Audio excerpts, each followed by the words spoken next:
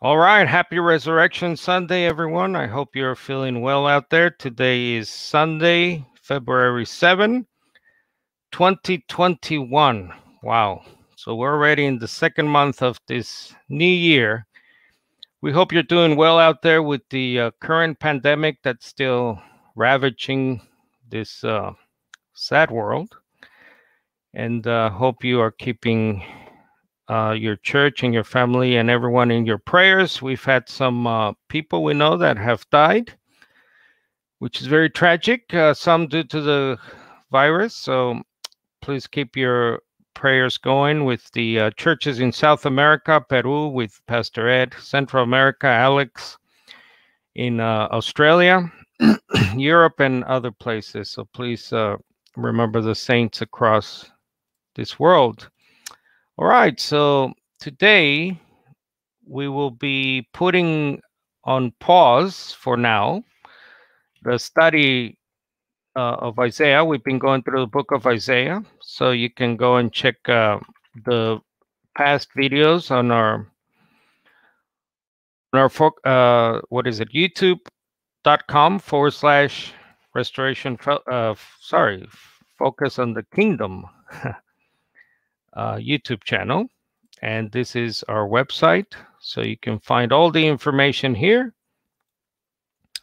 So if you go to the home page, you will see that there are links to the channel, youtube.com. There you go.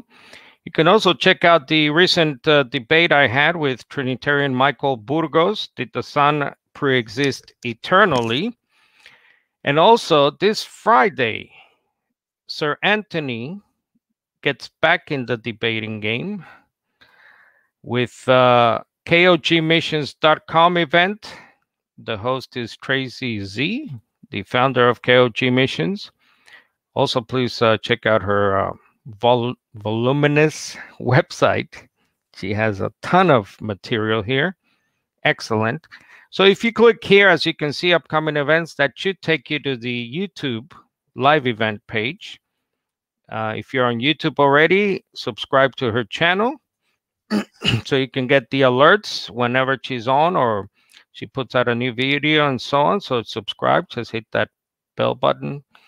She will host uh, this debate between Sir Anthony and Jonathan Burke, who is a Christadelphian, which is a non Trinitarian group originating from the late 1800s, I believe, and unfortunately, they developed a non personal devil and demon doctrine. In other words, Satan is not, as we understand, a fallen, the fallen bad angel, unholy angel, but they teach uh, that it's just your nature, your human nature, your flesh, something along those lines. So very unfortunate, but um, this is uh, obviously a very important topic. Remember, the devil's bigger, biggest trick is to convince the world that he does not exist. So I think this is uh, right up there with something that we should be wary of, regardless of who is teaching this type of things, by the way. Again, Mr. Burke is a non Trinitarian. We wholeheartedly agree with him on that, obviously. But uh, this is a serious matter when we do away with the person of Satan or the devil, diavolos, and his many fallen angel demons. All right, so Sir Anthony will come on as usual, and he will take us through our, the prayer, opening prayer. With the Shema, he will tell us why the Shema, which is a Hebrew word meaning listen or obey, why that is important or it should be important to your church. Why it should be the creed of your church, by the way. And then we will move to the youth lesson from Michelle Cox.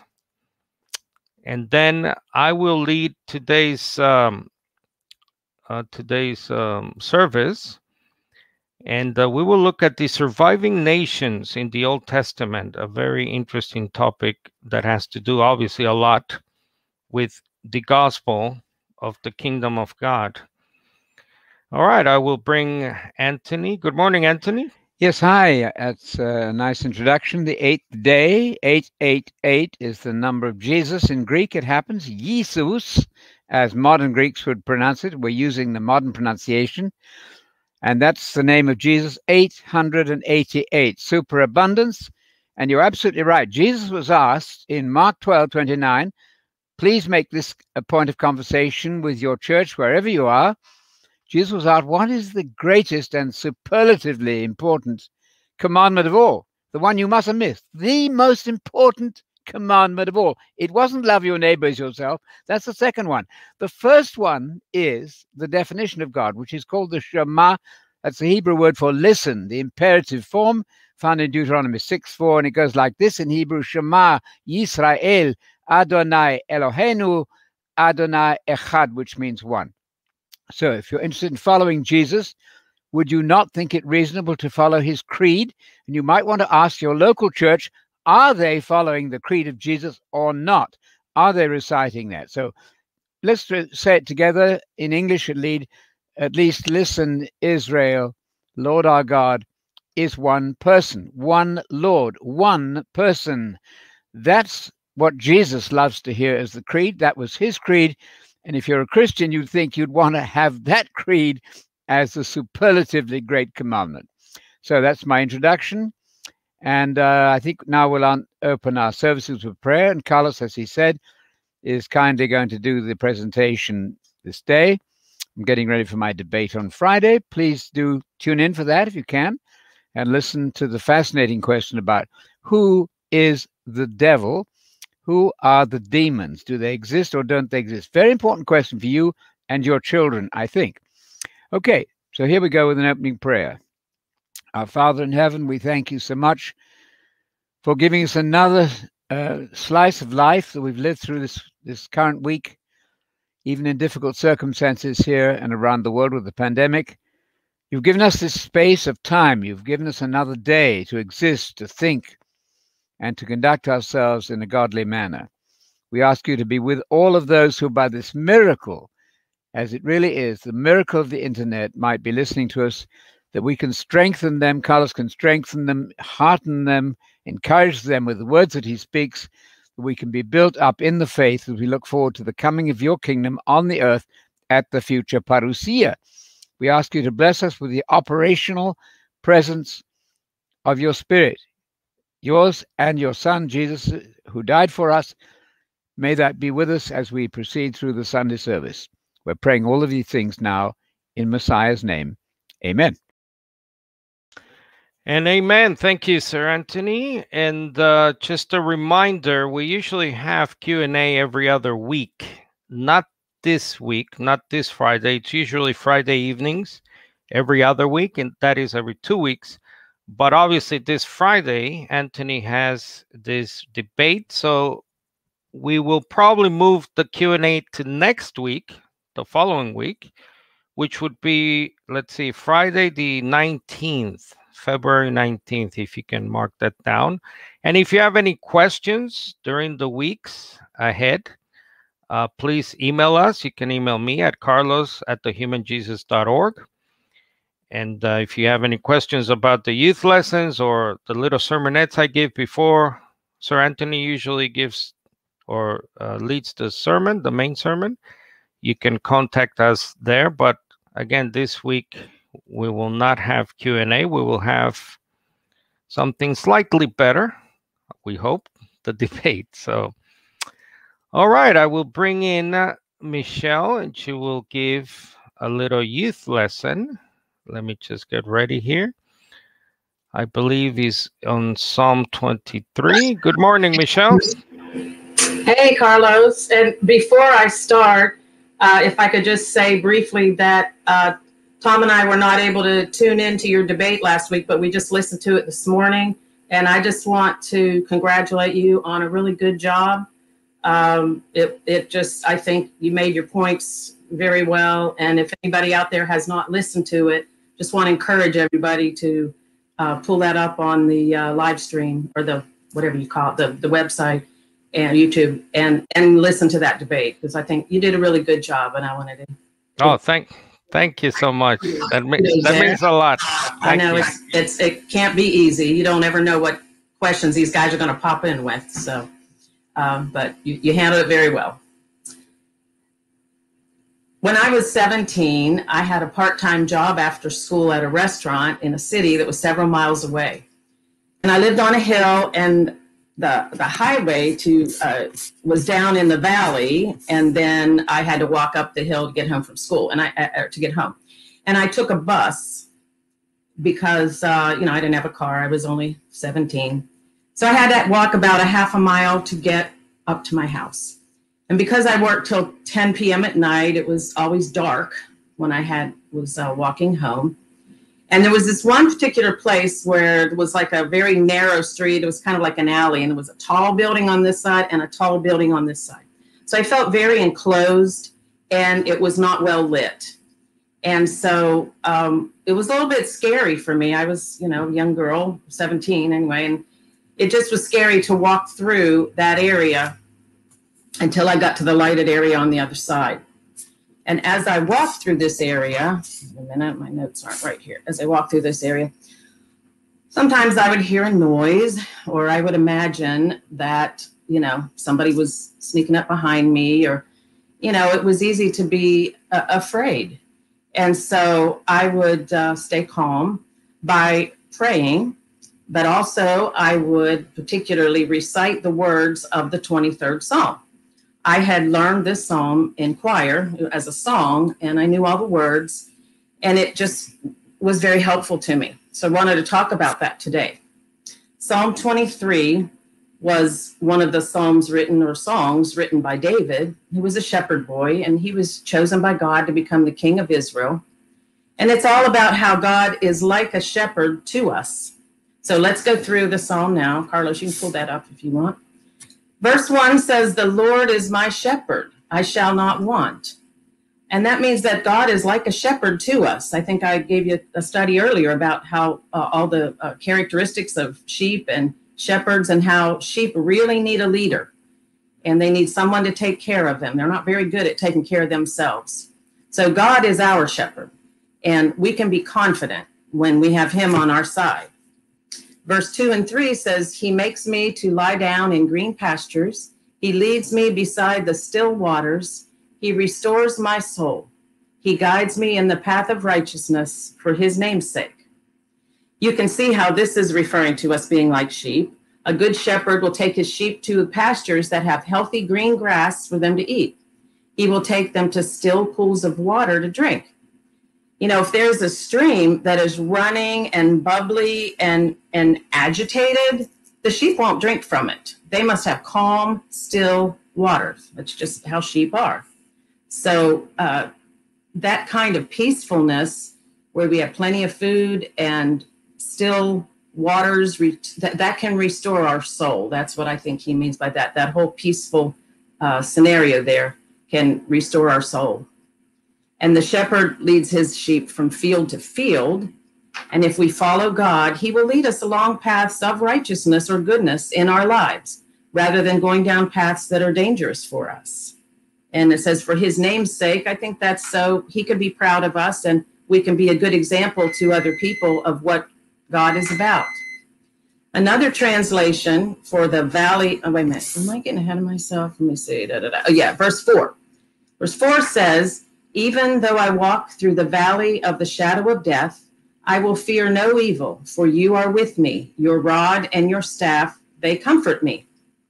So, another translation for the valley of the shadow of death is valley of deep darkness. And this was the part that I most thought of when I was walking along that narrow alley that was dark and scary. I would recite this psalm and I would fear no evil because I knew God was with me. And then I wouldn't be afraid. So, what is this rod and staff? Shepherds had tools that they used to keep the sheep safe and on the right track as they moved from field to field. The rod was a big stick or a club, kind of like this. It's a great big stick. And the shepherd would throw it at an animal that was coming to attack a sheep. So he'd take this thing and he'd throw it to attack a sheep to get the sheep, or to, to the animal that was attacking, if it was a lion or a bear or whatever and it would hopefully chase it away. But if an animal was harming the sheep and actually had a sheep and was, you know, killing it, then David would have to go and use his club to kill the animal. So that was used for protection. He used his rod for protection of his flock. The staff is a long pole with the curve on one end. I have one of those here too. So this is my shepherd's staff. Sometimes it's called a shepherd's crook. It's got this bent part at the top. And the staff is a long pole with the curve. The shepherd would hold out the staff along an area. Kind of hold it out. Let's see. Can I hold it out like that? To show the sheep which way to go.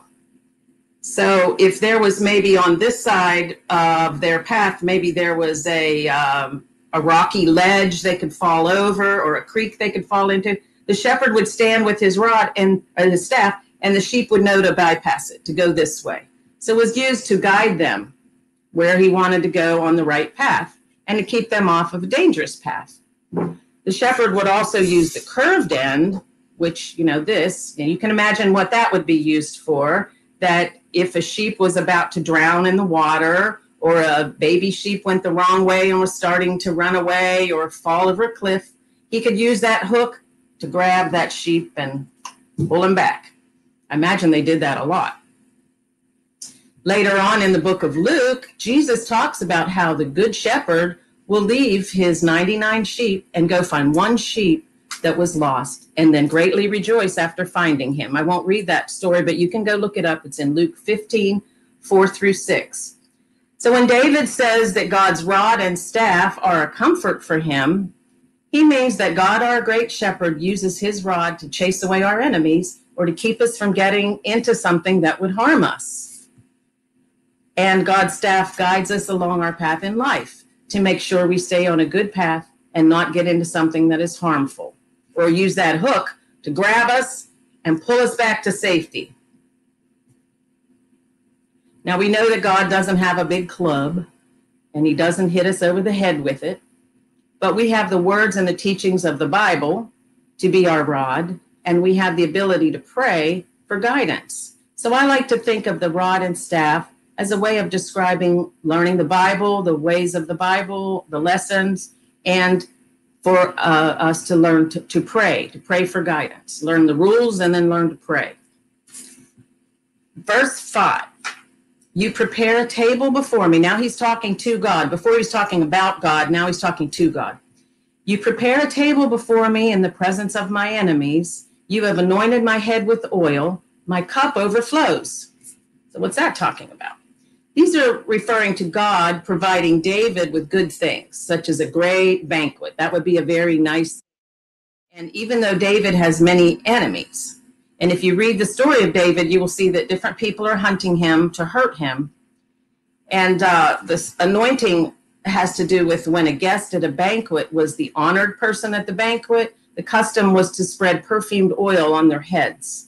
And that was just a sign of reverence and welcome for their uh, distinguished guest. And so David is saying that God treats him as a distinguished guest at his banquet. And David's happiness and thankfulness to God is like a cup that's overflowing. Surely, verse 6 Surely goodness and mercy will follow me all the days of my life. If we follow God's guidance, as David did, then we will live a life of doing what's right, and God will show mercy, loving kindness, and blessings on us. And the last phrase says, And I will dwell in the house of the Lord forever. I read in several translation that this phrase literally means I will return to the house of the Lord. I thought that was interesting because I never actually never had learned that before. And so we know that David is dead and buried, but we know he will live in God's kingdom after he's resurrected, and he will be the ruler in charge of the 12 tribes of Israel. It says that in Ezekiel 34 23. God says, Then I will put one shepherd over them, my servant David. He will feed them he will tend them and he will be their shepherd. He will return to the house of the Lord in the kingdom. And so that's that return to the house of the Lord. I thought that was real interesting. Of course, we also will dwell in the house of the Lord in God's kingdom once we are resurrected. So, this psalm, I think, is filled with lots of teachings for us. It teaches us that God cares for us like a shepherd, and we can trust in the Lord and not be afraid.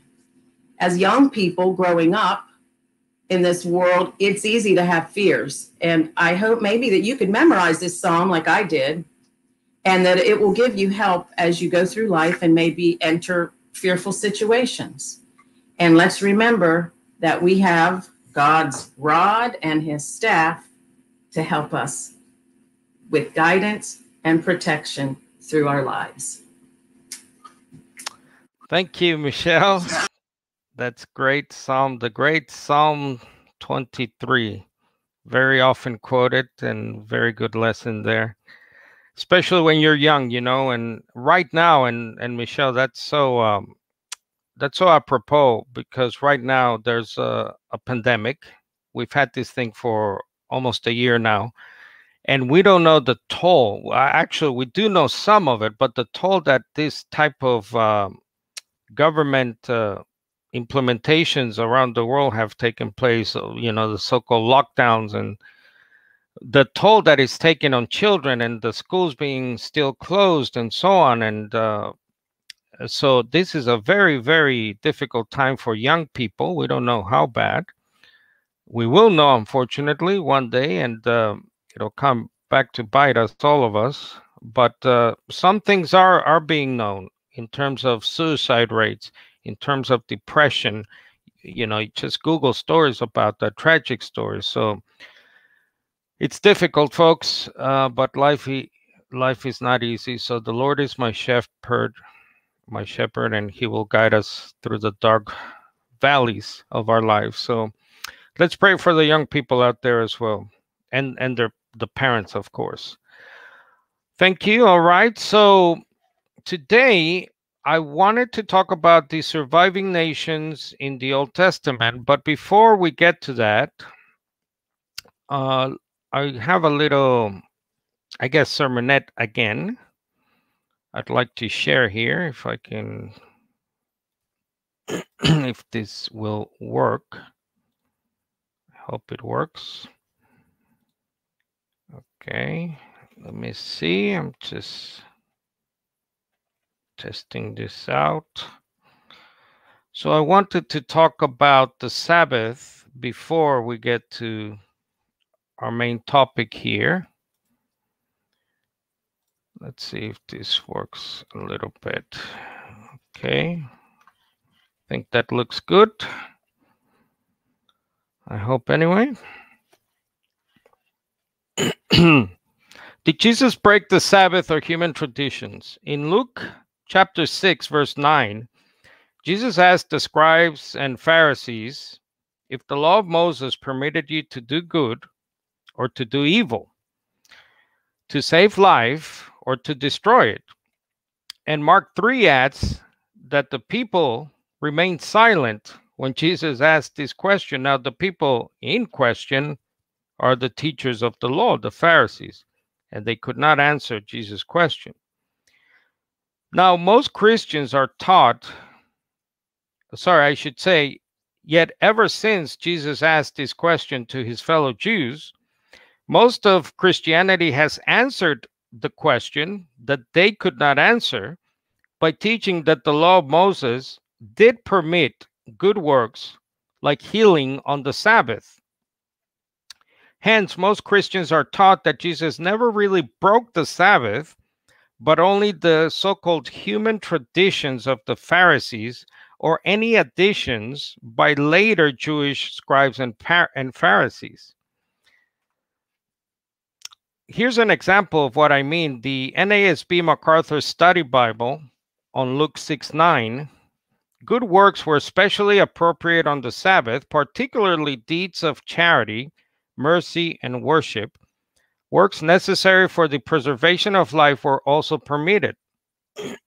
also, the Ryrie Study Bible, not to heal on the Sabbath would have been to do evil and to destroy life. To heal and therefore to do a good work would be no violation of Sabbath laws. Now, I hope you can see and note here that uh, these uh, commentaries, these study Bibles, offer not one, as far as I know, Old Testament reference as evidence for these claims. So I think to properly answer Jesus' question back in Luke 6, 6, we need to look back even further to the Old Covenant and the Sabbath law and what God had originally required from his people, the Israelites, or as we call them today, the Jews. So we have this in Exodus 16, and this was given before Sinai, which is interesting, uh, where the Ten Commandments were given. It says in part, God says to the people, Tomorrow is a Sabbath rest, a holy Sabbath to the Lord. Bake what you will bake today. Exodus 20, which is now at Sinai, where the giving of the Ten Commandments happened, you must not do any work, you, your son, daughter, male, female slave, livestock, or the foreigner. So the non Israelite, the so called Gentile, who is within your gates. And this is repeated across the uh, the books there of Moses in Leviticus 23 and Deuteronomy 5, which actually I think verbatim repeats the so-called 10 words or the 10 commandments. and still later prophets like Isaiah uh, like Jeremiah, sorry, and Nehemiah there, as you see, they added this, you must not carry a load out of your houses on the Sabbath day or do any work. The rabbis confirmed this understanding of following the the of resting on the Sabbath without qualification, by the way, by saying that carrying anything from one place to another is the last of what they call the 39 works forbidden under their rabbinical teachings called the Mishnah. So carrying things like empty beds is implicitly forbidden in the later, later rabbinical commentaries and, and understanding of the Old Covenant laws given here in Exodus and Deuteronomy. Furthermore, the importance of keeping Sabbath was part of the identity marker of the covenant people of God, whether, as we just read, you were a Israelite, a Jew, or a Gentile. Here's a quote from the late uh, James Dunn, Dr. Dunn, in his book Theology of Paul. Observance of the Sabbath became a touchstone of covenant identity and loyalty, Exodus 31. Since the Sabbath was a sign of Israel's set apartness, failure to keep the Sabbath law was a capital offense. So, for example, in Isaiah 56, the mark of Gentile participation in the covenant would be that of keeping the Sabbath.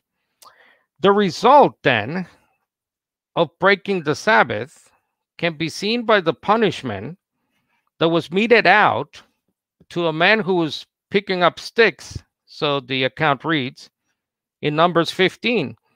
While the Israelites were in the wilderness, a man was found gathering wood on the Sabbath day. Those who found the man gathering wood brought him to Moses, Aaron, and the whole congregation. And because it had not been declared what should be done to this man, they placed him in custody. Now that's interesting, right? Because the law had been given already, and they need the punishment for breaking the Sabbath. But for some reason, these Jews who found the man did not know what to do.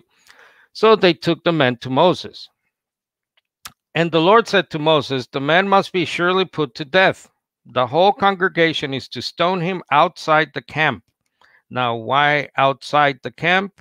Because it was a tradition of the Israelites to understand other commandments like purge the evil from among you, literally. So they would take the offending party and mete out punishments, usually death, outside the congregation, let's call it, or what we today would call the city or the suburb if you're in Australia.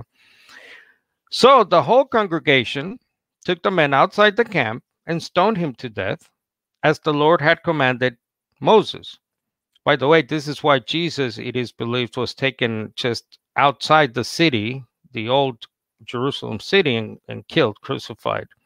That was part of Romans giving into the Jewish understanding of capital punishment. In summary, the evidence shows, to me anyway, that there is not one Old Testament reference Christians can point to today where God authorized breaking the Sabbath, Sabbath for any reason, even quote good humanitarian works like healing the sick. Instead, there is one clear and very scary evidence for what happened if any work was done on the Sabbath, as we read here.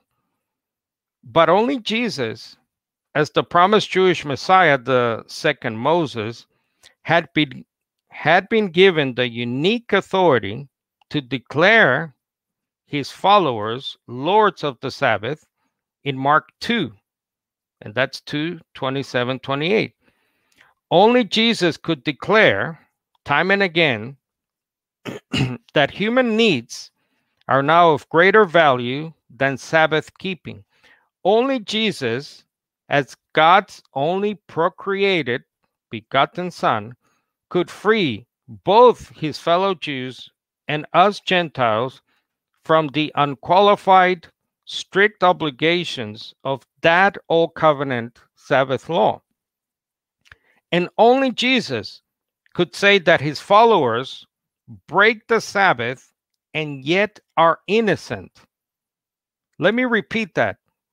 The followers of Jesus broke the Sabbath, yet were innocent. Those are the words of Jesus in Mark 12, verse 5. I'll end with this from the Theological Dictionary of the New Testament. In Mark 2, man and his needs are said to be of greater value than the commandment. The absolute obligation of the commandment is thus challenged. The second saying in Mark 2:28 goes much further. The Son of Man is Lord also of the Sabbath. The Christian community is conf- is confessing Jesus, the Son of Man, who, as the Lord Messiah, decides concerning the applying or transcending of the Sabbath. In his lordship, casuistry comes to an end. I think that's exactly right. And I hope you can think about these things. We have many uh, Sabbatarian followers out there. And if you have any other questions and you want a copy of this um, PowerPoint or any other notes, most of our material, by the way, it's it's free online. If you go and focus on thekingdom.org, we've done a ton of work on this. Sir Anthony obviously has uh, even written a written a book, which actually let me show you here how you can access the book through the focus on the kingdom.org website and here we go. So just go to the links. And Sir Anthony, if you don't know, he was involved with a Sabbatarian uh, system called the Armstrong uh, Worldwide Church of God, I believe was the name. He can correct me. I'll, I'll bring it on. I'll bring Anthony on soon. So if you go, I'm sorry, I believe it's books. So go to books, scroll down, and he has a little booklet here the law, the Sabbath, and the New Covenant Christianity. And there it is, a free PDF. So most of our books and, and things are for free. So before we get to the main sermon, I'll bring Sir Anthony here. Anthony, if you have any comments about that, please go ahead. Yeah, I think that's a, a subject dear to my heart. And I would add this didn't Jesus say that the priests in the Old Testament times broke the Sabbath and are innocent? I'm throwing in another element of the story here. That must be then a foreshadowing of Jesus not requiring the Sabbath keeping in the New Testament. But that's an Old Testament idea, isn't it? Where's that one? Haven't you read in the law of Moses? That's Old Testament that the priests on duty in the temple are allowed to work the Sabbath. I want to mention that. The priests were exempt. But as you rightly said, nobody else was exempt at all. You weren't to pick up sticks, but the priests. So that's a kind of foreshadowing. You're getting an idea of what Jesus is going to do, because even the priests in the Old Testament could break the Sabbath and be innocent. But now, imagine this we can all be breaking the Sabbath and be innocent because we're all priests. Jesus is the high priest. We're all priests of God. And that was foreshadowed, suggested even in Old Testament times, and made absolutely clear, I think, in the new covenant under which we now are. Could you comment on the saying here in verse six? He goes on to say that he's the Yeah. greater than the temple, Anthony. Yeah. What do you think Well, that yes, meant? Jesus is greater than the temple.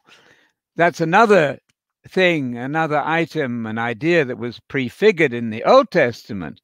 The temple was indeed sacred, the temple building, and the priests working in it were very, very special. But they could break the Sabbath if they worked in the temple. How much more then? How much more when the real temple has come? That's Jesus himself then we who are priests and kings with him are not bound by those Sabbath rules. I think that would be the point there. Right. And then verse 7 uh, but you would not have condemned my innocent disciples Yeah. if you knew the meaning of this scripture. Yes. I want to I want you to show mercy, Yes. not offer sacrifices. I I Yeah. I suggest, Anthony, yeah. I humbly Mm. suggest that Jesus introduces a qualification here that was not previously Right. uh, under under the Sabbath. What do you make of that? Well, it, yeah, I think that you could certainly say that. There are new things in Jesus' teaching, but he reminds us that even under Moses, the priests working in the temple were not bound by Sabbath keeping. So that was a new covenant thing uh, predicted and foreshadowed even in the Old Testament. That's fine and made very clear, as you rightly point out here, by Jesus himself. So, yes, Jesus is doing something new, but he says it's not entirely new because even in the Old Testament, the priests could break the Sabbath. Please note, they could and be innocent. How much more then, now that Jesus has come, he can break the Sabbath and the priests who work with him in the new covenant. We are priests and kings, you know that. We're not bound by the Sabbath in the letter. We're bound by the Torah of Messiah in the spirit, which is a different thing. All right, thank you, Anthony. And by the way, if you'd like to contact Anthony, that's his email. I'm sure uh, he gets a lot of emails, uh, but I'm sure he wouldn't mind yours as well regarding this topic. Very, very close to his heart. Again, uh, don't believe anything we say. By the way, check it out. Just because um, Anthony comes from that sys- system, I think um, you might be saying to yourself, "Well, he's biased. He's obviously, you know, his pendulum has swung all the way the other way and now he's he's saying the you know the things he's saying but you know test all things. We're we're not infallible. I'm not infallible certainly so. All right so we will move. I'll bring anthony on later to give his commentary on uh, what we're going to do here as the main sermon but i thought since we were doing isaiah and we will continue with isaiah uh, next sunday. I think we are in chapter 44, Isaiah 44. So again, you can go back and check out the previous sermons. but um, today I thought we might go through some scriptures regarding who Christians will rule over. Who will Christians rule over? Obviously, in the age to come.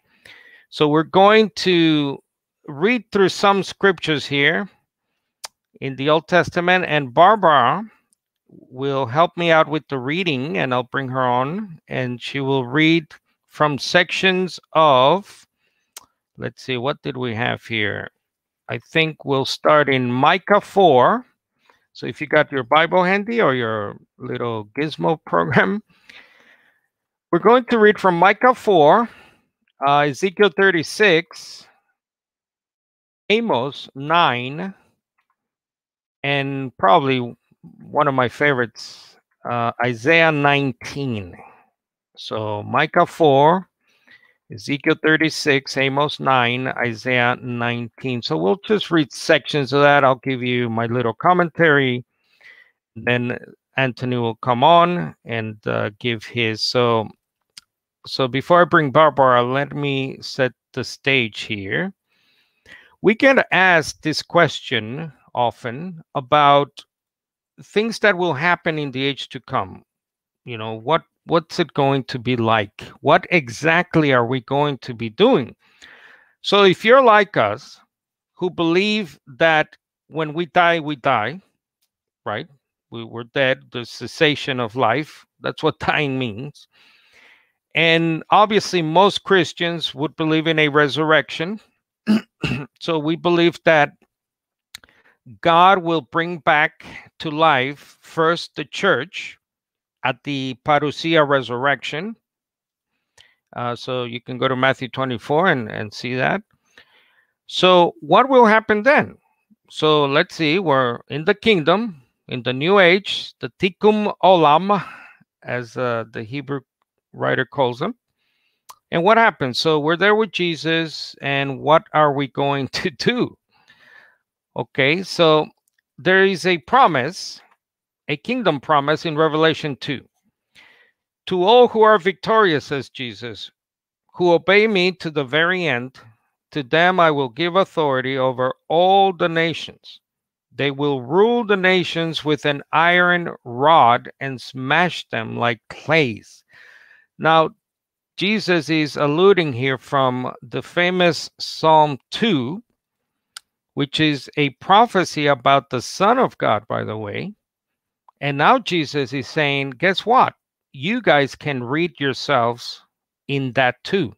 In other words, the promise Yahweh, the Lord God of Israel, the Father, gave to me, the prophecy about me, guess what? That applies to you as well.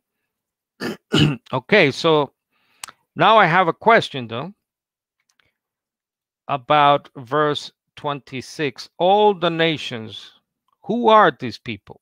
Who are the nations? So we will read through a section in micah 4 and i'll bring up barbara here now if she's ready. Yes. good morning barbara. Good morning. all right so let's see. You can start barbara. Let's start in verse 1 in micah 4 and i'll let you know when. And I'm reading from the, the New Revised. yeah that's fine In days to come, the mountain of the Lord's house shall be established as the highest of the mountains, and shall be raised up above the hills. People shall stream to it, and many nations shall come and say, Come, let us go up to the mountain of the Lord, to the house of the God of Jacob, that he may teach us his ways, and that we may walk in his paths. For out of Zion shall go forth instruction, and the word of the Lord from Jerusalem. He shall judge between many peoples, and shall arbitrate between strong nations far away. They shall beat their swords into plowshares, and their spears into pruning hooks. Nation shall not lift up sword against nation, neither shall they learn war any more. But they shall all sit under their own vines and under their own fig trees, and no one shall make them afraid, for the mouth of the Lord of hosts has spoken. For all the peoples walk each in the name of its God, but we will walk in the name of the Lord our God forever and ever. In that day, says the Lord, I will assemble the lame and gather those who have been driven away, and those whom I have afflicted. The lame I will make the remnant, and those who are cast off a strong nation. And the Lord will reign over them in Mount Zion now and forevermore.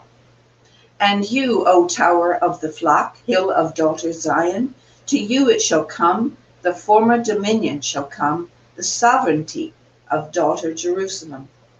Now why do you cry aloud? Is there no king in you? Has your counselor perished? That pangs have seized you like a woman in labor? Writhe and groan, O daughter Zion, like a woman in labor, for now you shall go forth. From the city and camp in the open country you shall go to Babylon. There you shall be rescued. There the Lord will redeem you from the hands of your enemies. Now many nations are assembled against you, saying, Let her be profaned, and let our eyes gaze upon Zion. But they do not know the thoughts of the Lord. They do not understand his plan, that as that he has gathered them as sheaves to the threshing floor. Arise and thresh, O daughter Zion, for I will make your horn iron, and your hoofs bronze. You shall beat in pieces many many peoples, and shall devote their gain to the Lord, their wealth to the Lord of the whole earth. Oh man, I got goosebumps. I don't know about you, but this is the gospel about the coming kingdom of God. I mean, my goodness, I we could do the the rest of the year with this, Anthony. But let me just uh, make a couple of comments, and I'll bring uh, Anthony up here. Uh, verse 13 is, is quite interesting. Rise up and crush the nations, O Jerusalem. So, what do we got here, folks? I'll just focus on the opening here in, in Micah. As you can see there, the highlighted text people from all over the world will stream there, there where? The Lord's house wh- what is the Lord's house? Uh, the Bible calls it Zion. We know it today as Jerusalem. So they will go there. They will stream there and do what? Worship. People from many nations will come and say, Let us go up to the mountain of the Lord, another name for Zion or uh, modern day Jerusalem, the house of Jacob's God, and we will learn his ways. Listen to that. They will learn from the God of Jacob, Isaac, Moses, David, Jesus, the Messiah. the Lord's teaching will go out from Zion, Jerusalem. His word, see the parallel there? Teaching equals word, will go out from Jerusalem. So these people are obviously uh, redeemed.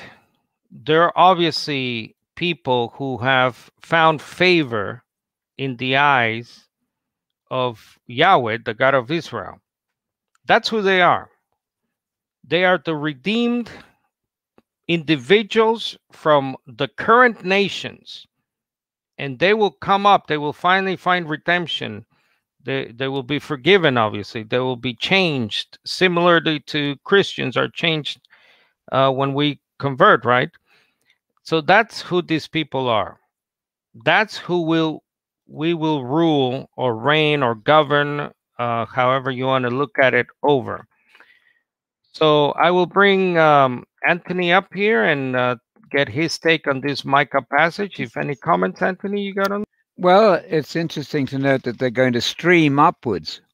That's an unusual way to go, isn't it? You don't normally stream upwards that's a very striking image there. These nations who are going up to Jerusalem, and you rightly pointed out, to learn. Currently, people learn war. We have establishments which teach you how to be soldiers, how to kill, and that's going to stop. They're going to learn not to have weapons of war. Everybody will sit under his fig tree. That's an image of peace in your own garden, and nobody's going to make you afraid. Right now, the opposite is true. We have to arm ourselves to the teeth to protect ourselves against enemy weapons. But in that day, which, as you rightly said, is the gospel of the kingdom, this is the vision of the future, which gives you goose goosebumps. It should all of us. It's a vision of the earth at peace, and they're not going to have any army establishments. The West Points, you might say, and the Sandhursts of today's world, those where they, they train soldiers, those will be curio museums. People will visit them and say, Do you remember what we used to do? We used to train people to kill each other. We're not doing that anymore. That is a huge, huge blessing. And that is the essence of hope.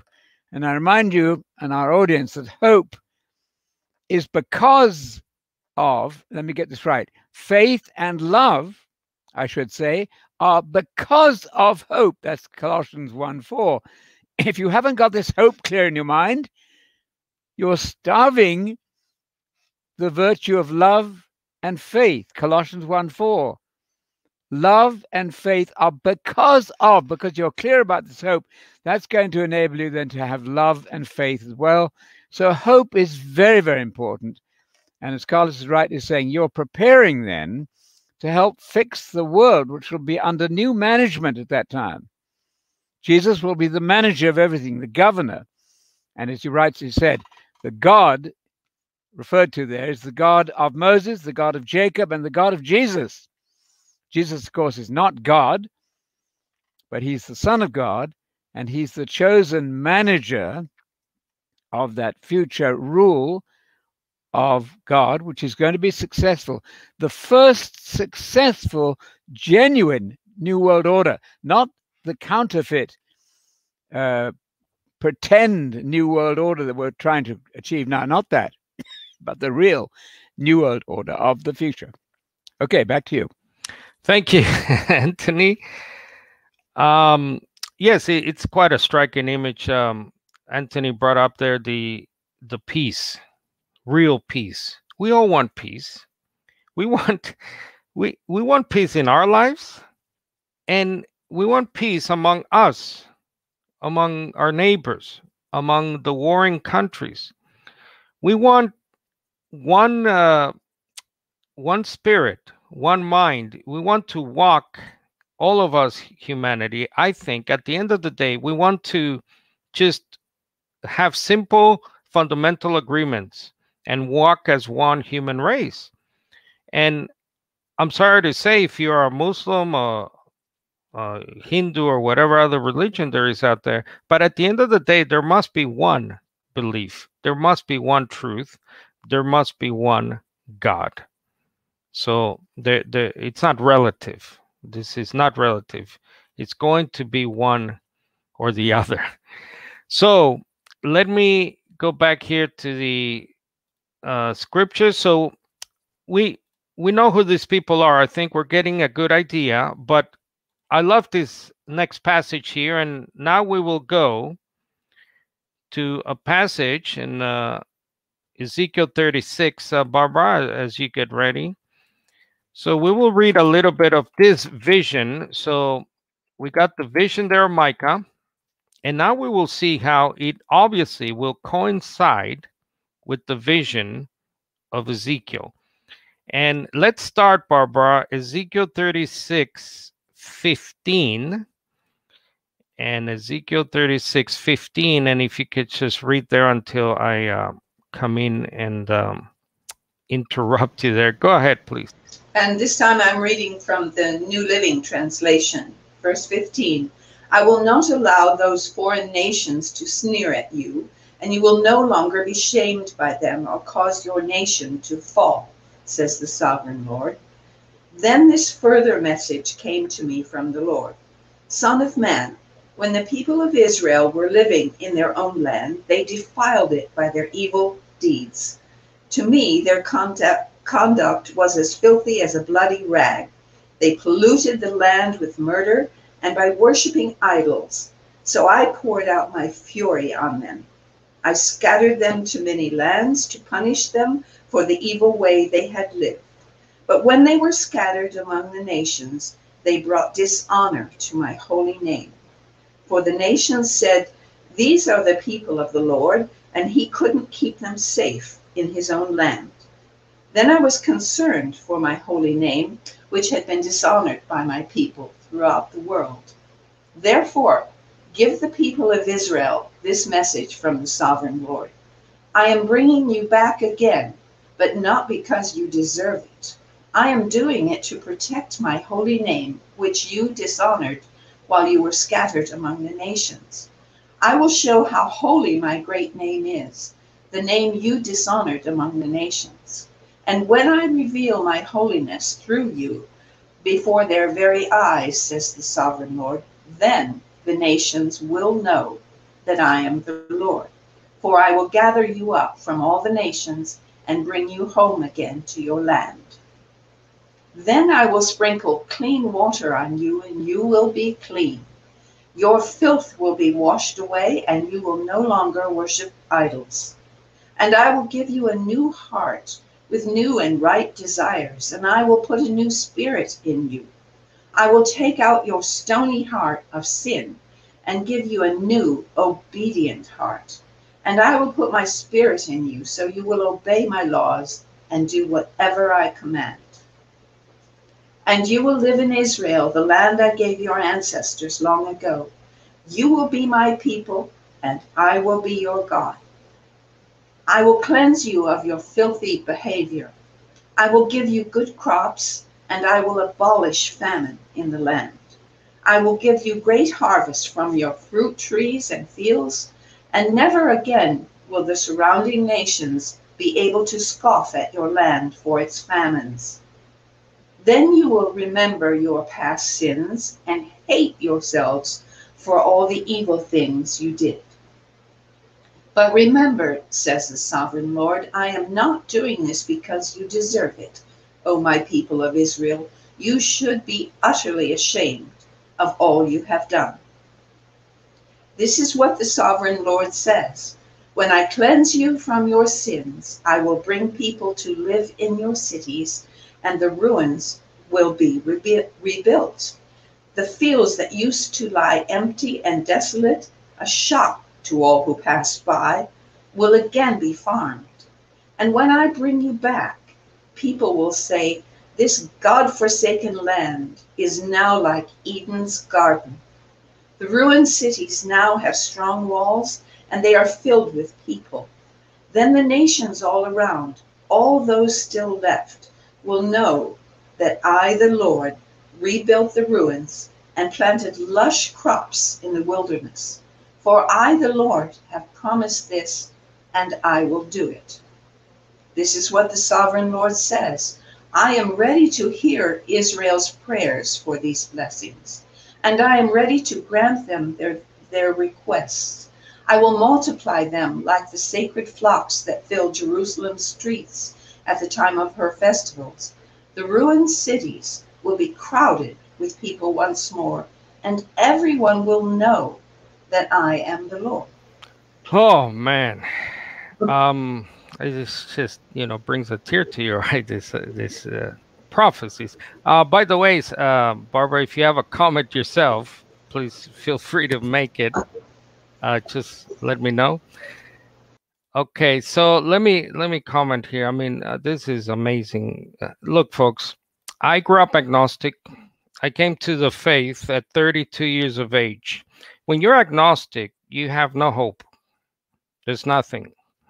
When you die, you die. I thought, you know, I wasn't an immortal soul, so-called person. I didn't believe in going to heaven and all that jazz, which you hear at nauseum as an unbeliever as well, right? Because it's obviously a pagan idea.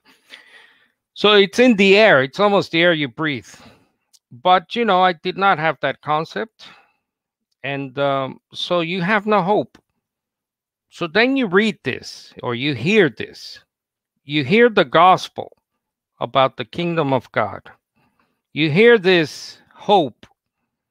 You hear about uh, restoration, renewal, um, you hear re- you read about and hear about cleansing from your sins from uh, your former wicked ways ways that we at, at some level most of us human beings find disgusting and we feel awful about it about doing wrong about doing bad things not just to our neighbors to ourselves to our families but most of all to the creator to god himself the father.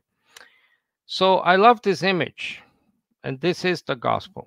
The fields that used to lie desolate in plain view of everyone will again be farmed. Again new beginnings. Again the restoration of the garden of eden right? We talked about this before.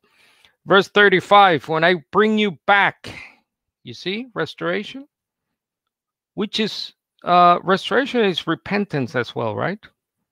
He will restore us if we repent. The former wasteland like the Garden of Eden. There it is, by the way, filled with people. Verse 36, very key to this topic. The surrounding nations that survive will know that I, Yahweh, Jehovah, by the way, it does not matter. It does not matter the name of God. I'm not saying it doesn't matter as in terms of, but uh, whether you know how to say, how to write it, uh, I don't. I don't think God is that petty. Yes, He has a name. We know His name. We sort of know His name because the pronunciation has faded from memory. Yes, He has a name. I'm not disrespecting the divine name, obviously, but what matters is we obey Him. then the surrounding nations that survive. So, who are these people? Once again, we come back to the topic at hand. They're survivors from the nations, the current nations. Again, uh, England, Australia, my native country, Nicaragua. God has a remnant in every nation of the world. Yes, Israel has a, a exclusive special place. From them are the promises. To them belong the promises, I should say. Uh, to, uh, from them come the Messiah and so on. But there's also a remnant in every nation. God has his people. That's why Jesus in Matthew 24 says he will send out his angels and they will gather the elect, the saints. And there's the words, right? Keywords rebuilt, replanted. I, I talk about often uh, when it comes to this topic about three R's restoration, uh, regeneration, and renewal. Basically the same thing, right? There's always a repeat of three R's, it seems, in different ways. Here, rebuild, replant, restore, uh, return, all the R's, right? So let me bring up uh, Sir Anthony here if you have any comments on. Uh, yeah, I think it's 167 times in the Old Testament the phrase goes like this, and then in this idyllic time that you're describing from the prophets, and then they will all know that I am Yahweh. I am the Lord God. And you can say to your children, How many persons is I there? If I introduce myself and say, I'm Anthony, you don't have to argue about how many persons I am. But unfortunately, such is the tragic confusion in our day that people don't know who God is. Well, He's an I. They will know and understand that I, God, God referring to Himself, the God of Abraham, the God of Jesus, I am, as one person, Yahweh, the Lord God. That should be clear. And that should alert you to the fact that we've somehow drifted away from the creed of Jesus. And that's another story how that happened but a gradual loss of the identity of the one God of Israel. So think of that. I think 167 times God is ultimately going to be known as I. How many persons is I?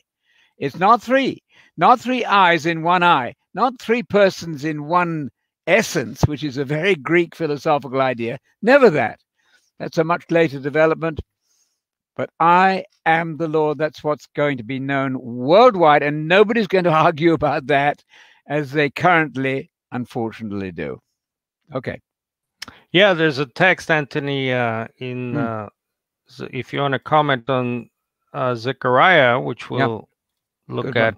Um, what do you make of that verse? Zechariah 14 yes. 9. And the Lord will be king over all the earth. Yes. On that day, there will be how many? One, one Yahweh, one Jehovah. Good. His name alone will yep. be worshipped. Tell me about that. Well, that's wonderful. Exactly the point. On that future day, this future day is so important that it is encapsulated by the phrase on that day. In Hebrew, by Yom Hahu, in that very day, that future day that we're all passionately waiting for, there will be one Lord. How many Lords is that? One. Not three lords, not Father, Son, and Holy Spirit. They're all equally Lord, but really one being. No, no, that's foreign to the Bible. The whole world will, will acknowledge that God is one. They will know that I am the Lord. And so I will just throw this in as a slightly off topic bonus, but today I received a letter from somebody saying, Well, Anthony, haven't you read Psalm 110.1? Where it speaks about the Lord saying to my Lord, Don't you know, Anthony, that second Lord is Adonai? Well, it's not.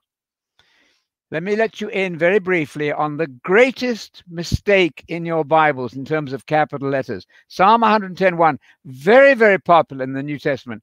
Yahweh is still one person. And he addresses in an oracle there somebody called Adoni. Your children need to learn the difference between Adoni, which is never deity, and Adonai, which is the Lord God. It couldn't be more fundamental to your whole and your children's understanding to know that that psalm speaks not of God speaking to God, but of God speaking to somebody who is not God. That capital L on there is just wrong. You're being deceived. There should be no capital L on Lord there, the second Lord. So, um, the second Lord, it should not be capitalized. Yahweh speaks to my Lord. It's Ladoni, and there are translations that happily get that right, but you need to take a red line and take the capital L of that second Lord because you've got two gods there. Then the universe is shaken and you are shattered and your brain is confused. There are not two Lords, only one Lord God. The second Lord there is, I repeat, not God, not Adonai, but Adoni, which is never a title for deity. So I want to throw this slightly off topic, but I couldn't resist doing that because it's so central. Oh, okay. Oh, it's uh, central. The Shema, as you know, Anthony, was called the yoke of Absolutely. the kingdom. Yes. The first and greatest commandment is the Shema. Mm-hmm. If we don't have that yoke, uh, metaphorical, obviously, That's right. we cannot go to the kingdom. Yep. That's the whole point. What did Jesus say to the rabbi, by the way, Anthony? Yeah. Remind us in Mark 12. What was Yes. Jesus' response? You are closer to what? Yeah. Please tell us about that. Yes, well, in Mark 12 29, we started our service today. A friendly Jew was checking Jesus out. You know, people want to say, well, what do you believe? I want to know if you're sound in your doctrine or not. So a friendly Jew came to Jesus in Mark 12 29, one of the scribes, that means one of the professional scholars, and they heard Jesus debating. Not wrong to debate in a friendly way. Noticing how well Jesus had answered them, he was impressed with Jesus. He, the scribe, the professional scholar, asked Jesus, Which commandment is the most important of all? And many people, if you ask them, will say, Well, it's love your neighbor. That's the second one. You missed the first one. Don't miss the first one. The first one, Jesus replied, This is the most important commandment of all. The superlatively great commandment is Listen, Israel, the Lord our God, the Lord is one, or better translated, the Lord is one Lord. The Lord our God is one Lord, one person. And you're to love that Lord. There's the second commandment.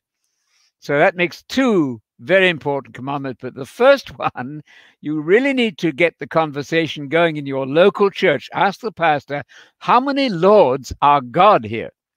Because that sounds awfully like what you should say if that is you believe in following Jesus. And if you think you can follow Jesus and snub your nose, so to speak, at his teachings, you're very mistaken. You cannot love Jesus. You cannot follow Jesus unless you follow his teachings. That's 1 Timothy 6 3, 2 John 7 to 9. A fair warning. If somebody comes to you and doesn't bring the teachings, the teachings, the teachings of Jesus, particularly the superlatively important one, then watch out.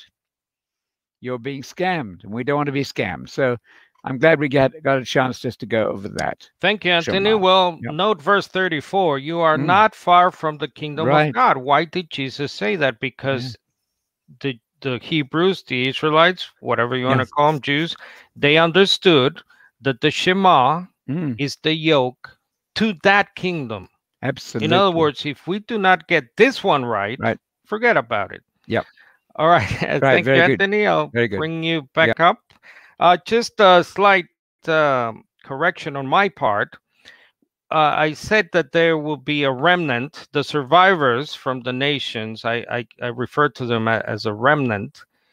uh, I just want to clear something up. Uh, in church, as I understand it, in in uh, traditional churches, you hear remnant uh, a lot, and it usually has to do with the church, I believe. And Anthony can correct me later if he. All right, so we hear remnant, but the restoration here, and you see there the heading in the NLT restoration for Israel. But really, the headline would be better, in my humble estimation, if it said something like the restoration of Israel and the nations, or something like restoration of Israel and the rest of the nations, because I believe this is a view that the scriptures we are reading here of the so called Israel of the flesh, of the nation of Israel being restored yes, I guess you can also read into this the church, how we will be, you know, in, but I, I believe that this is in because why do I say that? Because there are other nations. Verse 36, then surrounding nations. So I believe this is the restoration of what Paul calls, not my not me, by the way, Paul in Romans calls the Israel of the flesh so there are two Israels, and I have taught, or we have taught about this. You can get on our YouTube or our websites and just search two Israels. But there are two tracks, let's call it. The church, which now Paul calls the Israel of God in Galatians 6:16, I believe. And then you have the nations which include Israel, I believe.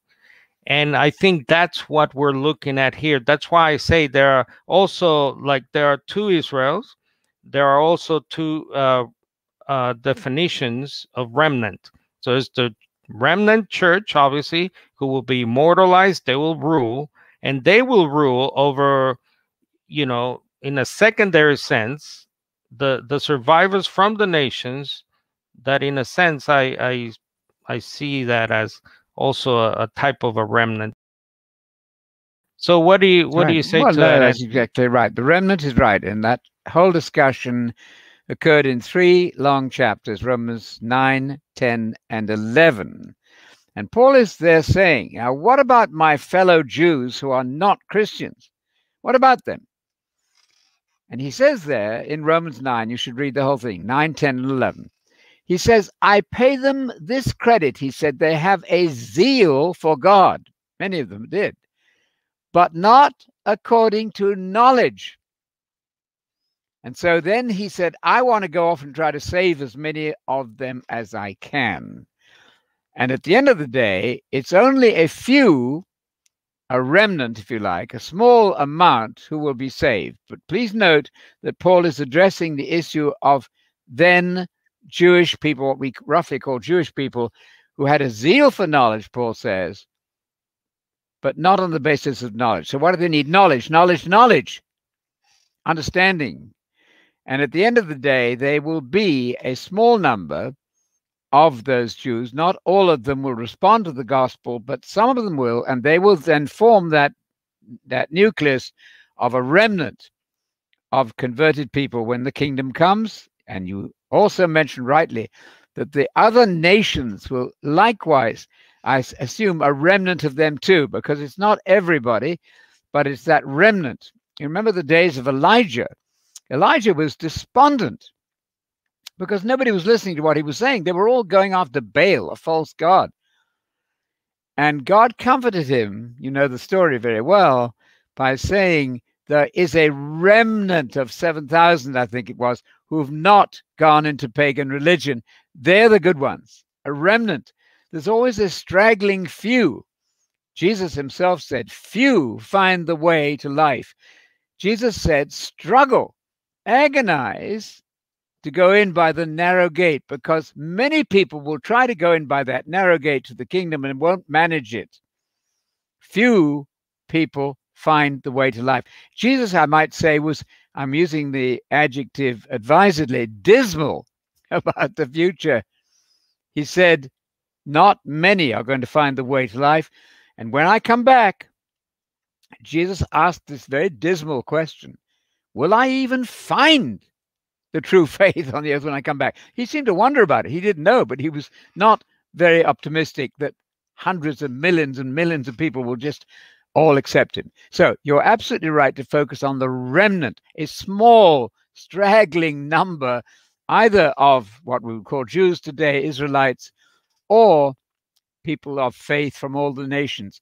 You can see a pattern that repeats itself. People are very uh, separationist in their ideas. They tend to say, well, if it's got to be this one, it couldn't be that one. Wait a minute. The Hebrew mind, I learned this at Jerusalem University way back in 1974, can grasp a totality. You don't need to argue whether it's a remnant of Jewish people or the remnant of Gentiles or the other nations. There's going to be a remnant of all those people. You put it all together and you get the great picture about, as you say, the surrounding nations all coming to know that God is one single person. There'll be no triune God around at that time to argue about. It won't be necessary. Thank you, Anthony. So we'll get to more scriptures here. And if you have any questions, by the way, just type them in. I'll try and get them in uh, at the end. So we'll go back to our reader, uh, Barbara. So we will move to Amos 9 so let's start Barbara in Amos 9:11, please, uh, all the way to the end there. Thank you. On that day I will raise up the booth of David that is fallen, and repair its breaches, and raise up its ruins, and rebuild it as in the days of old, in order that they may possess the remnant of Edom and all the nations who are called by my name, says the Lord, who does this. The time is surely coming, says the Lord, when the one who plows shall overtake the one who reaps, and the treader of grapes the one who sows the seed. The mountains shall drip sweet wine, and all the hills shall flow with it. I will restore the fortunes of my people Israel, and they shall rebuild the, re- the ruined cities and inhabit them. They shall plant vineyards and drink their wine and they shall make gardens and eat their fruit. I will plant them upon their land, and they shall never again be plucked up out of the land that I have given them, says the Lord your God. All right.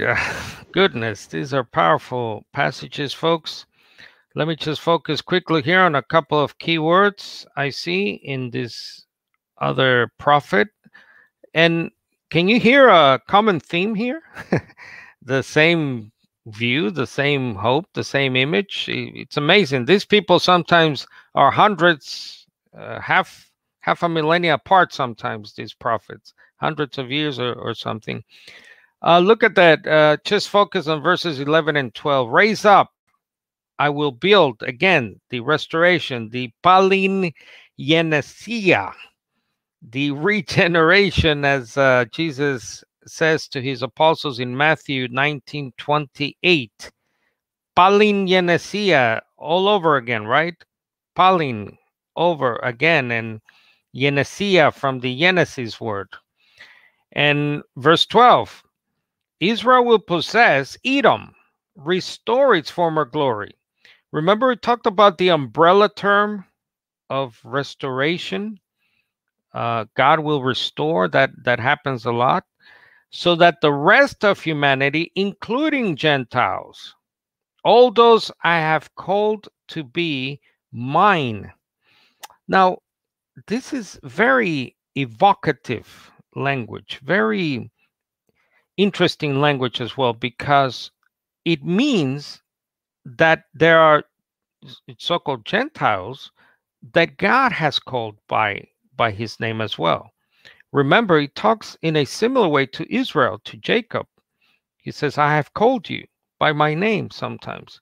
So he's now, God, the Father, is now using similar language that he used uniquely sometimes for the Israel, uh, the nation. Now he's he's sort of changing his tune, let's call it, with Gentiles, non-Jews and the the lord god the one doing this i haven't mentioned this but god will do this. Have you heard that throughout? I will do this. I will do this. Uh, anthony brings in very correctly the singular personal pronouns but what about the fact that he will do it? Not the United States of America, not England, not Australia, not any other uh, earthly empire from this present evil age.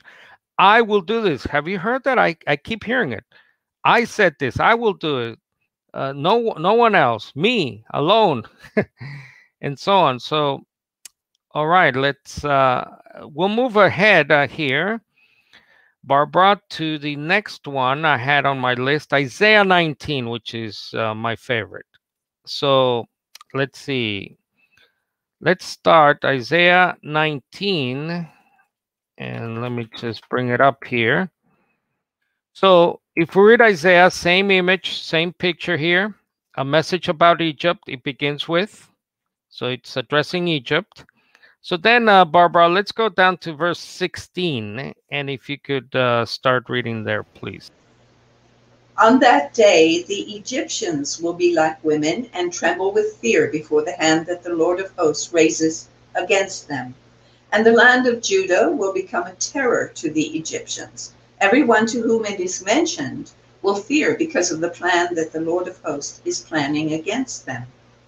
On that day, there will be five cities in the land of Egypt that speak the language of Canaan and swear allegiance to the Lord of hosts. One of these will be called the city of the sun. On that day, there will be an altar to the Lord in the center of the land of Egypt, and a pillar to the Lord at its border. It will be a sign and a witness to the Lord of hosts in the land of Egypt. When they cry to the Lord because of oppressor, oppressors, he will send them a Savior and will defend and deliver them. The Lord will make himself known to the Egyptians, and the Egyptians will know the Lord on that day, and will worship with sacrifice and burnt offering, and they will make vows to the Lord and perform them. The Lord will strike Egypt, striking and healing. They will return to the Lord and he will listen to their supplications and heal them. On that day, there will be a highway from Egypt to Assyria, and the Assyrian will come into Egypt, and the Egyptian into Assyria, and the Egyptians will worship with the Assyrians. On that day, Israel will be the third with Egypt and Assyria, a blessing in the midst of the earth, whom the Lord of hosts has blessed, saying, Blessed be my be Egypt my people, and Assyria the work of my hands, and Israel my heritage. Wow. Now, this is a striking prophecy. So it brings in all those elements of the other prophets with a new twist, if you want. Something new, something beforehand that, as far as I know, maybe Anthony can fill the gap. I haven't heard God say but now something interesting is happening. So, okay, we get the same theme restoration of the um, non Israelites, right, of Gentiles, so called. Uh, so, Egypt itself will be restored. There are the key words in the heart of Egypt, in the land of Egypt. Nowhere else, not in Rome, not in Nicaragua. this is Middle East stuff, right? Very important. More keywords. Make himself known to the Egyptians, will give sacrifice offerings to him so this is interesting, right? So we talk about the Millennium Temple. So the temple will be, there will be yet another temple. So here are sacrifices. You need a temple for sacrifices and offerings. I think we can all agree on that. And then the interesting phrase in verse 22 that God will heal by striking. That's interesting. So he brings healing through striking, through punishment. And Egypt, Egypt will turn eventually to the Lord. Verse 23. Now he brings in Assyria, the prophet Isaiah. So God speaking through a prophet. Now we're getting a different, more, more here uh, descriptions. And guess what happens with Egypt and Assyria and Israel? They form, that's why I called it a united kingdom nation, a true united kingdom. Uh, sorry, true United Nations, but this one obviously is the United Kingdom Nations, uh, UKN, if you want to start a party. No, just kidding. So look at this, verse 24. In that day, again, code code word, right? Code language on that day, uh, right? Code language for the Parousia resurrection now. So it was the day of the Lord, the day of the Lord, Yahweh, that is, becomes the day of Messiah. I think we can uh, understand that. And then in that day, Israel will be the third. Wow. So Israel, the chosen, precious Israel of God in the Old Testament, in the future, will partake, will be part of this United Kingdom nations, as I call it. And then look at the language in verse 25, which the, the other prophets were already alluding to vaguely, but now here it's brought to in, in real focus, sharp focus. Look what God, the God of Israel, says to the former wicked nations here of Egypt My people, blessed be Assyria. Now, we believe Assyria is, is the territory or the location where the Antichrist himself will come from, folks.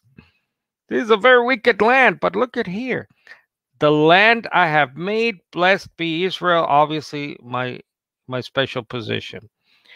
Um, so it's an amazing language here. Again, reversal of fortunes to the ninth degree, uh, to the you know highest degree. So amazing that now they even join the precious Israel uh, of God, of the flesh, that is, to form these, uh, what can only be termed a triumvirate, a three nation rulership here.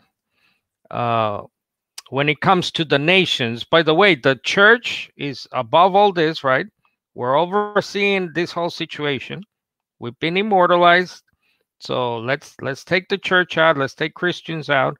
This we're looking at are the surviving nations, including Israel. Uh, Anthony, you want to add? Something? Absolutely, and there's one remnant that you haven't mentioned yet, which will give us an even greater extra nations picture, and that would be Amos chapter 9 and verse 12. What does that say? Amos chapter 9 and verse 12, guess who else is going to be there? For your widescreen nation idea, Amos 9, verse 12, speaks about the remnant of who? Of Edom. That's a nation on the east side of the Jordan, isn't it? Edom, they're going to be involved here too, a remnant. So, yes, I think there'll be a remnant of all the nations on earth, actually.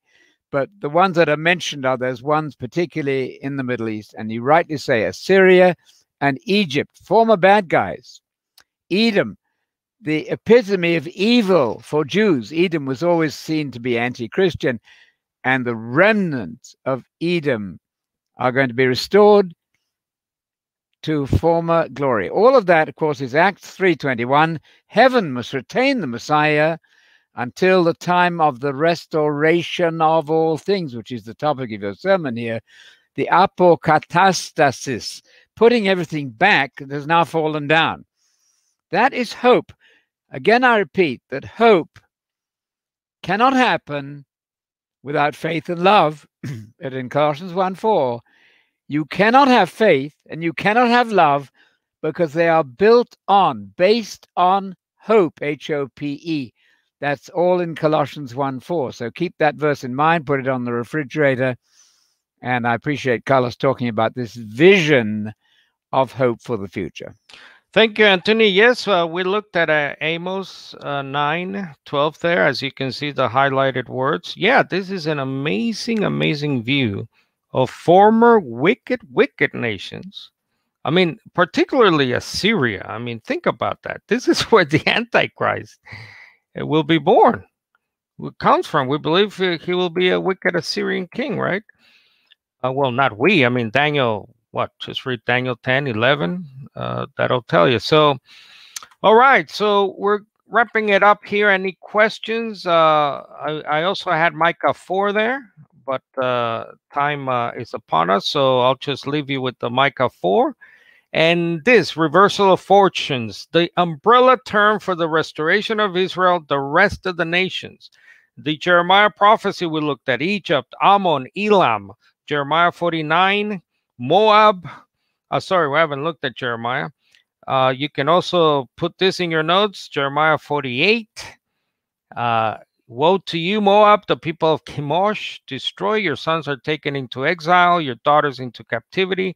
Yet I will restore the fortunes even of Moab in days to come. On that day, code, remember, folks, code, not yet, it will come about. Ryrie Study Bible has a good comment on this verse. Moab will be restored to sharing the messianic kingdom. I love it. Goosebump. Goosebump moment. Uh, also, I had uh, something to say about Psalm 48, but I'll leave that for later, another time. All right, the three R's quickly rebuild, replant, restore. I love it. Matthew 19 28. Say it with me. Palin Yenesia. I love it. Translated here in the Amplified as in the new age, that is the messianic rebirth. Palin, again, Genesia, Genesis, origin, rebirth of the world. I love it. When the Son of Man shall sit down on the throne of his glory, is he sitting now in the glory in the throne of his glory? By the way, where is the, the throne of his glory? think about that. I'll, I'll, I'll leave you with that question uh, for a quiz next next Sunday. You who have followed me, he says to the apostles, will also sit on 12 thrones, judge or rule or govern the 12 tribes of Israel. That's the Israel I believe we have been looking at. That 12, the restore, regather 12 tribes. I think that's what we have been reading here in Amos, Micah, Isaiah, and uh, other prophets, Jeremiah. So I hope, folks, um, you you can study this thing. I mean, these things require a lot of study, uh, a lot of um, prayer and and study. Uh, this is a the grand design. This is the master plan. This is the gospel about the kingdom of God and uh, it should give you goosebumps. It gives me goosebumps every time I read, especially that incredible Isaiah 19 uh, passage. I think we got one. Uh, my apologies if I'm not getting to any questions I might miss, but we will get to this one. I'll allow Anthony also a chance to answer this. Let's see, can you please explain uh, Ezekiel 45, which states that the Messiah will perform sin sacrifice for his own sins? That's a question mark. Because Jesus is sinless as portrayed in the New Testament. Well, let's have a look quickly and then I'll let Anthony in on this. I believe this is um, the later chapters of uh, Ezekiel have to do, as you know, with this millennium temple and he talks about the consecrated land there. It starts, and then the prince. Now, who is this prince? Okay, now the prince will have the area bordering each side of the uh, area and so forth. So it introduces a prince and princess, says other princes. Okay, and my princesses will no longer oppress my people, but will give rest to the land. Okay. And then the the question here, as we drop down to verse 22, on the fourth, 14th day of the first month, you're to observe Passover. Okay, a feast, seven days. So again, I believe this is the millennium, the age to come. So all these things are going to be brought back. Okay, unleavened bread. On that day, there's that code. The prince shall provide a bull as a sin offering for himself and for all the people of the land. okay. There are many princes here in this chapter. These are probably governors, rulers of the people. In other words, it's not Jesus. Obviously, Jesus is not offering sacrifice. I mean, he didn't while he was on earth, by the way, because he was sinless. So why would he do that? No, he took sins upon himself. So obviously, I believe, um, I hope um, uh, that's clear. Uh, Naja, I don't believe that is the Messiah. Obviously, that's just one of the princes. Uh, of the uh, nation there, restore nation of Israel. Anthony, if you want to have. Yeah, they're leaders. It's absolutely out of the question. It could be Jesus the Messiah. We know from the Old, from the New Testament, he was sinless. So don't even imagine that. These are governors, leaders, rulers in that restored government system, and they're going to have to be uh, bound by, at least for a time, by the sin offerings in the temple. Now, why God reinstitutes all that, I'll leave him to explain that when it happens. It could be that Israel never did that well enough. They need to learn the discipline. I don't know exactly, but that is not Jesus. That would be a governor, a ruler among many leaders in Israel, certainly. All right. Okay. Thank you, Anthony. And uh, one question for myself uh, What does umbrella term mean? Well, you know, it's just a, a way of um, speaking. Uh, how can I describe? It's, it's just an umbrella term is, is is something that covers many things, right? So you you can talk about uh, umbrella terms like humanity. I guess is an umbrella term covers all kinds of peoples, all types of races. So yeah, the the restored the fortunes is an umbrella term that covers uh, a bunch of nations, obviously, a bunch of concepts and themes below it. So it's just, it's just a metaphor, a way of speaking, uh, an idiom, if you will. So, all right, I think we will leave it there. Sorry, Anthony. well, gotta... I want to say a summary term. Psalm 110.1 is an umbrella psalm over the whole New Testament. You cannot fail or you should not fail to understand Psalm 101, where Yahweh is speaking to Adonai. Adonai is not God, not God. Take the capital Lord off that one. It's false. There are not two Lord gods. So umbrella is a very good term because it covers the whole subject. It's a summary of the whole system. We all need summaries for our understanding. Good. Thanks, thanks, Anthony. Uh, Barbara, did you have a comment before we go, or we? Uh, well, no. Like you, I, reading this in Amos gives gives me goosebumps. right. Th- thank you, and thank you for for being the reader today. Yep. You did very well. Yep. Uh, so okay, we will leave it there. Thank you, Anthony, Barbara, yep. and uh, we will uh, wrap it up and be back hopefully next Sunday with um, Isaiah. Uh, what did I say? Forty-four. So actually, before I leave, let, let me share some uh, comments from uh, videos we get. Um, a comment on uh, Michelle's Sheep and Good Shepherds video from Sharon, one of our faithful commentators, commenters, is that how you say it? Excellent teachings, Michelle. Thanks for bringing this to the table. Amen. Well, thank you, Sharon, for watching out there. On my um, video, I did a recent uh, interview with a, a person who studied with the Jehovah's Witnesses, uh, Darren from England. Uh, Grant said, It was a pleasure listening to Darren. Thanks for setting this up, Carlos and Darren. And uh, Poppy Fields, thanks, Darren. My family are going on a very similar journey.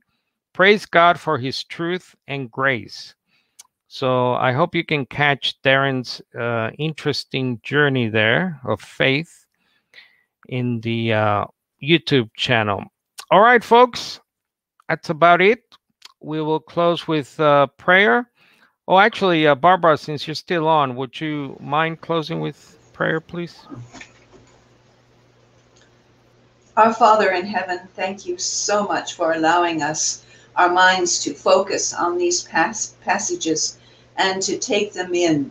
Uh, I pray that we will consider them throughout the, the week and return to them um, and to to uh, study so not only for our own selves but so that we can pass on this incredible information.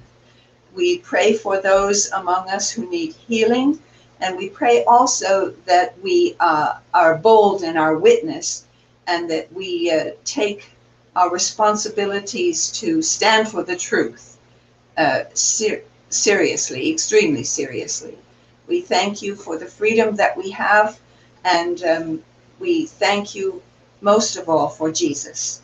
And in his name we pray. Amen. Thank you, Barbara. God bless everyone. Keep